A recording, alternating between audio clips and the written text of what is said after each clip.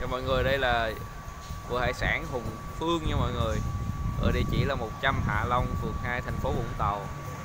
Thì à, đây là một trong những vựa hải sản rất là lớn. Thì mọi người đến đây có thể mua cá nè ghẹ đầy đủ hết.